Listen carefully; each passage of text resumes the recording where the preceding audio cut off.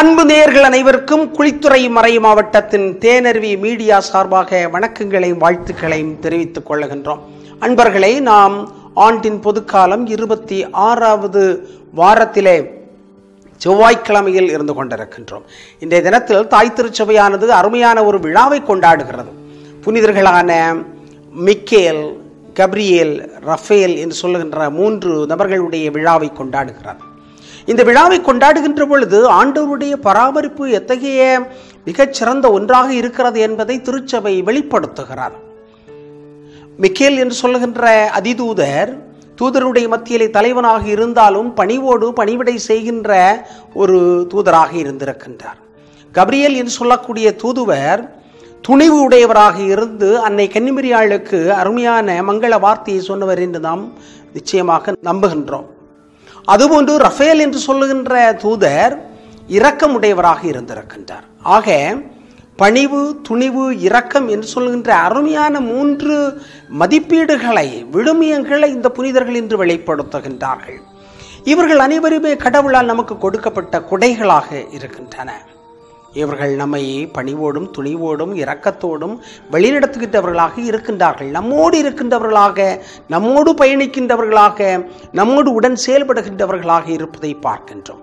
எனவே கடவுளுடைய இரக்கம் கடவுளுடைய வழிநடத்துதல் பராமரிப்பு உடனிருப்பு என்று சொல்லக்கூடிய அனைத்து கொடைகளுமே ஒவ்வொரு நாளும் கடவுள் நமக்கு கொடுக்கின்ற அருமையான கொடைகளாக இருக்கின்றன.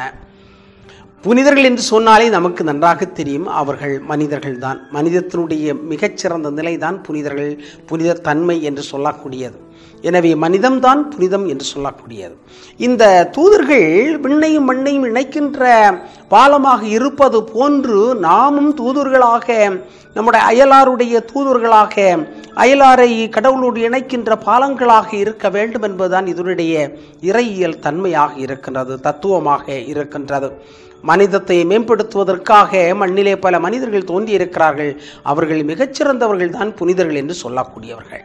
அவர்களை நாம் வாழ்த்துகின்றோம் அவர்களை வணங்குகின்றோம்.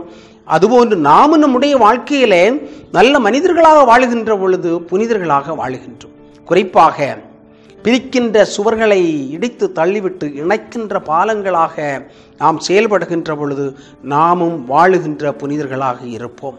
அதற்கு பணிவு தேவை துணிவு தேவை இரக்கம் தேவை. இந்த மூன்றும் இந்த மூன்று முத்தான மதிப்பீடுகளும் நம்மிடத்தில் இருக்கின்ற பொழுது நாமும் இந்த வானக தூதர்களைப் போன்று வாழ்ந்து காட்டலாம். அருமையா நாள் உங்களுக்காக காத்திருக்கின்றது. அனைவருக்கும் நெஞ்சார்ந்த நன்றிகள் வணக்கங்கள். எங்களை எல்லாம் பாசத்தோடு படைத்து பராமரித்து வருகின்ற எங்கள் நல்ல தந்தை இறைவாம் நேரத்தில் உடைய பிரசனத்திலே நாங்கள் வந்திருக்கின்றோம். எங்கள் அனைவரையும் ஆசுவைத்திலும் உடைய பிள்ளைகளாக எங்களை ஆசுவைத்திரளும் எங்களை பாதுகாப்பதற்காக எங்களை வழிநடத்துவதற்காக எங்களோடு இருப்பதற்காக அருமையான மூன்று புனிதர்களான காவல் தூதர்களை எங்களுக்கு கொடுத்திருக்கிறேன். நாங்கள் உமக்கு நன்றி செலுத்துகின்றோம். புனித மிக்கேலுக்காக கப்ரியலுக்காக ரஃபேலுக்காக நாங்கள் நன்றி செலுத்துகின்றோம்.